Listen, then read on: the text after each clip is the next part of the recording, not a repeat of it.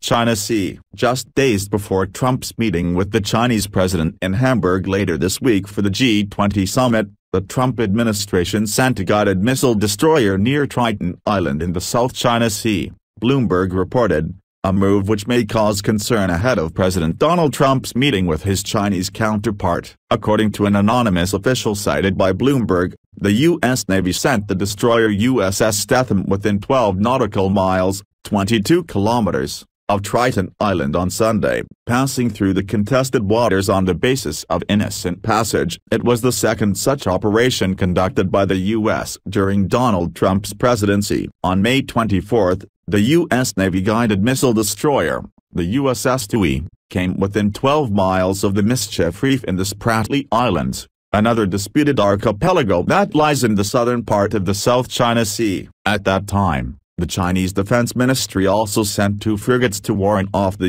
U.S. vessel and said that it was firmly opposed to the U.S. behavior of showing force and boosting regional militarization. The news of the U.S. ship deployment to the contested area comes just days after reports suggest China has completed construction of new missile shelters on Mischief and Fiery Cross reefs. The Sea Patrol move could signal that the U.S. is displeased with China based on the extent of its efforts to pressure North Korea to curb its missile and nuclear programs. The White House has made several moves in recent weeks, including announcing economic sanctions against Chinese companies with ties to North Korea. And while in recent weeks China has shown remarkable restraint in not responding, or retaliating, to U.S. escalations today Beijing finally reacted instantly and with outrage with People's Daily reporting that China deployed military vessels and warplanes to warn off the USS Stethem, according to Chinese Foreign Ministry spokesperson Lu Kang. Under the pretext of freedom of navigation,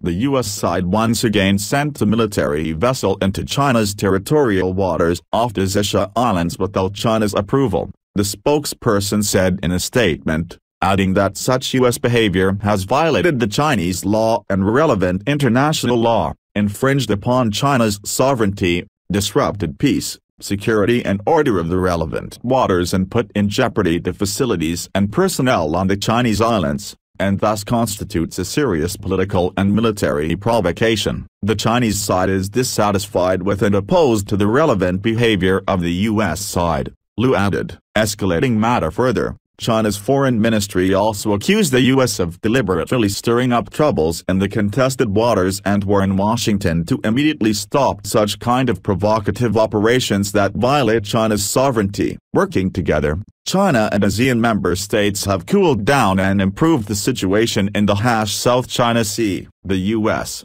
who deliberately stirs up troubles in the South China Sea, is running in the opposite direction from countries in the region who aspire for stability, cooperation and development, Lu added. The Chinese side strongly urges the U.S. side to immediately stop such kind of provocative operations that violate China's sovereignty and threaten China's security. The Chinese side will continue to take all necessary means to defend national sovereignty and security. The statement reads, The head of U.S. Pacific Command, Admiral Harry Harris, recently criticized China's activity in the region. China is using its military and economic power to erode the rules-based international order, he said in a speech delivered on Wednesday in Brisbane during the joint U.S.-Australian military exercises. Fake islands should not be believed by real people, he added, as reported by Fox News. The Paracel Islands, of which Triton is a member, are contested by China, Taiwan and Vietnam. China has already built runways,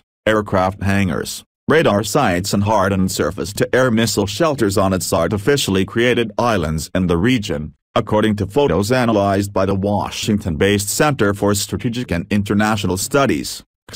Beijing's actions have sparked concerns in Washington and the U.S. Navy, which is fiercely opposed to this Chinese initiative, has deployed additional warships in the disputed zone conducted maneuvers near China's artificial islands, and flown over them, claiming it has been done in the interest of the freedom of navigation. In response, China called Washington's involvement in the dispute the greatest threat to the region. In early June, China and the U.S. both held exercises involving air and navy forces, In another episode of confrontation over the disputed South China Sea, the U.S. sent two B-1B Lancer supersonic bombers to fly a 10-hour mission from Andersen Air Force Base, Guam, which was conducted in conjunction with the U.S. Navy's Arleigh Burke-class guided missile destroyer the USS Sterett. A day earlier, the Chinese People's Liberation Army, PLA, conducted its own air and navy exercise off Hong Kong. The patrol mission involved three helicopters and two Type 056 corvettes, the Qinzhou and the Huizhou. The Defense Ministry reported, breaking news, just in, U.S. missile destroyer trespassing territorial waters serious provocation, China. China said on Sunday that the U.S. missile destroyer trespassing China's territorial waters off the Xisha Islands was serious political and military provocation. Foreign Ministry spokesperson Lu Kang said in a statement released on Sunday night that China dispatched military vessels and fighter planes in response to warrant off the U.S. vessel. Earlier Sunday, the missile destroyer USS Stethem trespassed China's territorial waters off the Xisha Islands. The Xisha Islands are an inherent part of the Chinese territory, Lu said noting that in accordance with the law of the People's Republic of China on the territorial sea and the contiguous zone, the Chinese government promulgated the baseline of the territorial sea off the Xisha Islands in 1996. The relevant Chinese law has explicit provisions on foreign military vessels' entry into the territorial sea of China, Lu said. Under the pretext of navigation freedom, the U.S. side once again sent a military vessel into China's territorial waters off the Xisha Islands without China's approval, Lu said stressing that its behavior has violated the Chinese law and relevant international law, infringed upon China's sovereignty, disrupted peace, security and order of the relevant waters and put in jeopardy the facilities and personnel on the Chinese islands. The behavior constitutes a serious political and military provocation, Liu said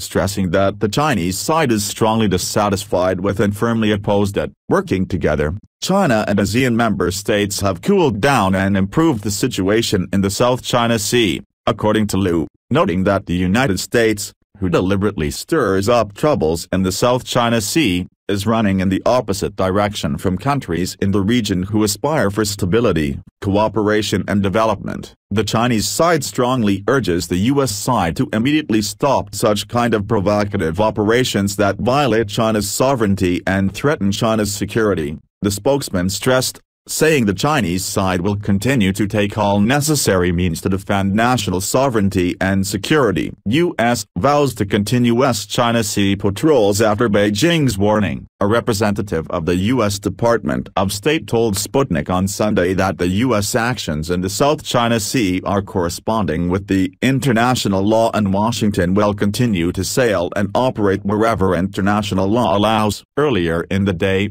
the Chinese Foreign Ministry voiced a protest against the U.S.-guided missile destroyer USS Stethem's entering the waters off the disputed Paracel Islands, known in China as the Xisha Islands. According to Foreign Ministry's spokesman Lu Kang, the U.S. actions violated the Chinese law as well as the international law and constituted a serious political and military provocation. Moreover, China dispatched military vessels and fighter planes in response to warrant off the U.S. vessel. U.S. forces operate in the Asia-Pacific region on a daily basis, including in the South China Sea. All operations are conducted in accordance with international law and demonstrate that the United States will fly, sail, and operate wherever international law allows the department's representative said. The representative pointed out that the United States had a comprehensive Freedom of Navigation Operations Program, FNOP, aimed at challenging excessive maritime claims in order to preserve the rights,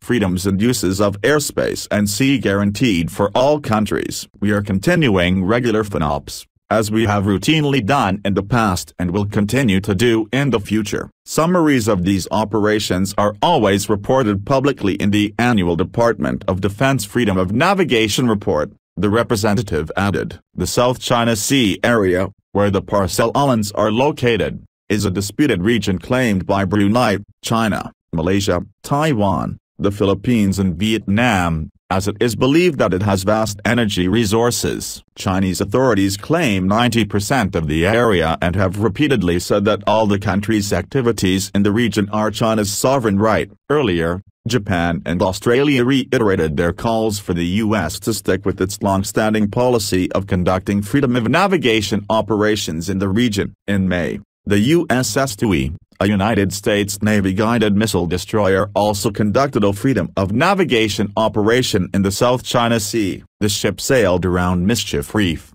in the Spratly Island chain. The Chinese Defense Ministry accused Washington of militarization of the South China Sea region, following the sailing of the USS Dewey near the Mischief Reef. Also in May, Chinese fighter jets reportedly came within 100 feet of U.S. anti-submarine and maritime surveillance P-3 Orion aircraft over the South China Sea.